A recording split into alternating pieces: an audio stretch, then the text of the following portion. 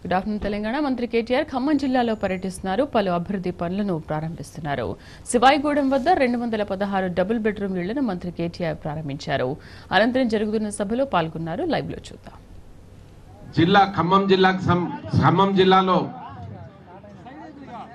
మన ముఖ్యమంత్రి గారి తనయులు యువ కిషోరం రాబోయే ఈ తెలంగాణ రాజకీయ జీవితాల్లో ఒక దిశ దశ చూపెట్టేటువంటి యువ నాయకుడు మన మంత్రివర్యులు గౌరవనీయులు తారక రామారావు గారు. మరి అందరికీ తెలుసు సుపరిచితులు ఎక్కువగా నేను పరిచయం చేయవలసిన అవసరం లేదు. తెలంగాణ రాష్ట్రం వచ్చిన తర్వాత ఖమ్మం ముఖ చిత్రం మారిందంటే అది కేవలం తుమ్మల నాగేశ్వరరావు గారు.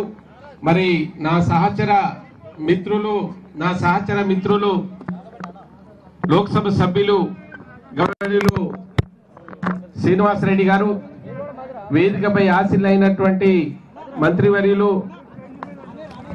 పెద్దలు సహా శాసనసభ్య సభ్యులు శాసన మండలి సభ్యులు గౌరవ చైర్మన్లు వేదికపై ఆశీలైనటువంటి నాయకులందరికీ మరోసారి నమస్కారాలు తెలియజేస్తూ మిత్రులారా తెలంగాణలో ఖమ్మం జిల్లాని ఇవాళ ఒకసారి పోల్చుకుంటే మిగతా ఇరవై తొమ్మిది జిల్లాలో ఖమ్మం జిల్లాని పోల్చుకుంటే ఖమ్మం జిల్లాకు ఉన్నటువంటి ఈ డెబ్బై సంవత్సరాల స్వతంత్ర భారతదేశంలో తెలంగాణలో ఉండేటువంటి ఖమ్మం జిల్లా ఏ స్థాయిలో ఎదిగింది? ఇవాళ ఖమ్మం జిల్లాకు ఎన్ని కోట్ల రూపాయలు వచ్చినాయి? ఎన్ని ప్రాజెక్టులు వస్తున్నాయి అనేది మీ కంటికి కనబడతా ఉంది.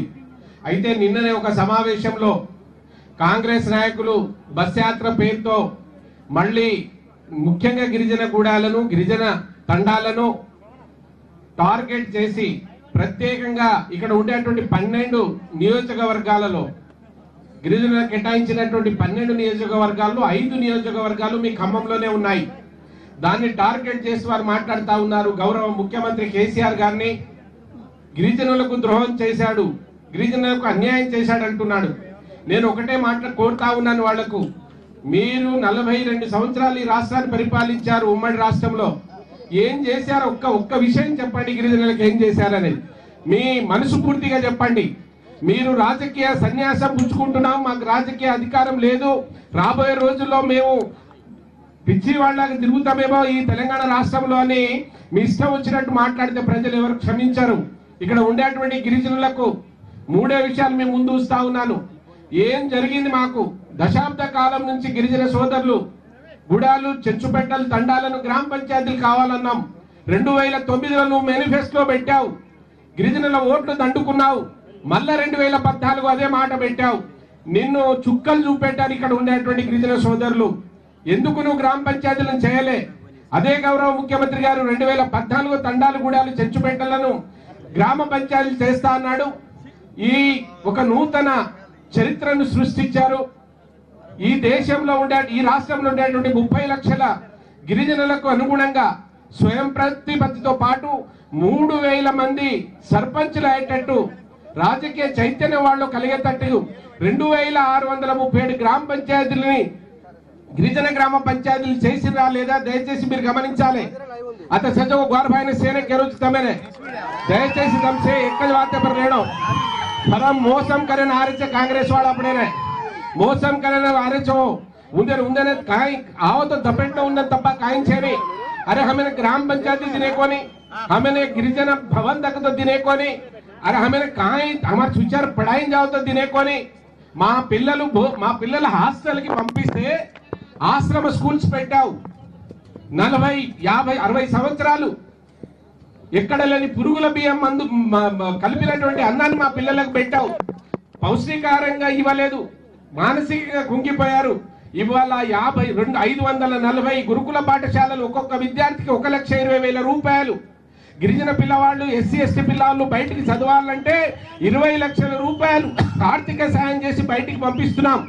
ఇక్కడ ఉన్న నాయకులందరికీ తెలుసు ఐదుగురు ముఖ్యమంత్రులను కలిశాం. అయ్యా మాకు హైదరాబాద్లో ఒక గు- మూడు గుంటల భూమి ఇవ్వండి.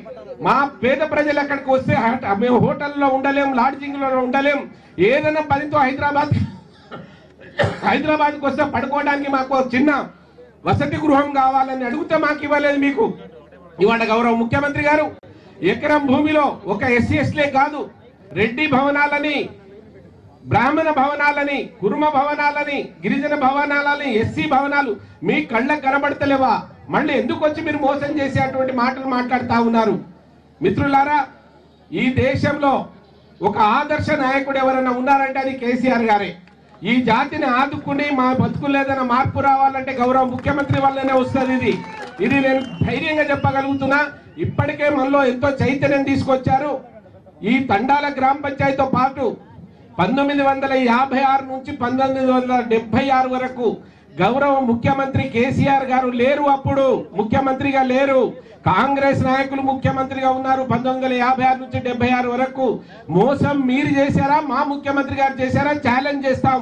ఎందుకు మమ్మల్ని ఎస్టీలుగా కాకుండా చూశారు? తెలంగాణలో ఉండేటువంటి లంబాడి ఎరకల యానాదిని ఇరవై సంవత్సరాలు మోసం చేసింది కాంగ్రెస్ పార్టీ.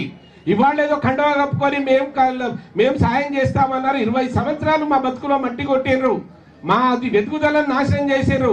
ఆ ముఖ్యమంత్రి గారు ఇవాళ రాజ్య ఇవాళ తెలంగాణ వచ్చిన తర్వాత ఒక ప్రత్యేక స్థానాన్ని ఇచ్చి ఒక ఎడ్యుకేషన్ విధానం ఒక పాలసీ ప్రతిదీ ఒక ప్రత్యేకమైనటువంటి నిధి కేటాయించి ఇవాళ గిరిజన బతుకులో మార్పు తెస్తున్నారంటే ఆ ఏకైక ముఖ్యమంత్రి గౌరవ ముఖ్యమంత్రి కేసీఆర్ గారే.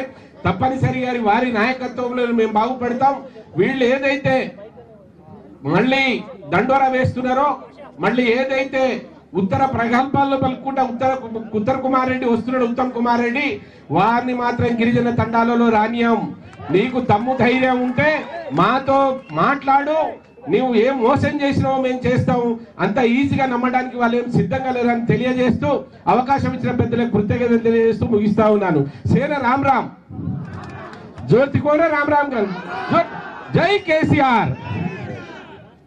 ధన్యవాదాలు సీతారాం నాయక్ గారు. ఇప్పుడు మన పార్లమెంట్ సభ్యులు ఖమ్మం పార్లమెంట్ సభ్యులు మన సీనన్నని మాట్లాడవలసిందిగా కోరుతాను అందరూ చప్పట్లతో.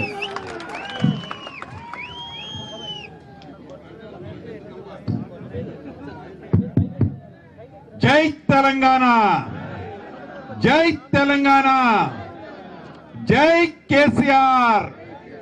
ఏనా సౌండ్ రావట్లేదు? జై కేటీఆర్! సభకి నమస్కారం. సభాధ్యక్షులు స్థానిక శాసనసభ్యులు మిత్రులు పువ్వాడ అజయ్ కుమార్ గారికి.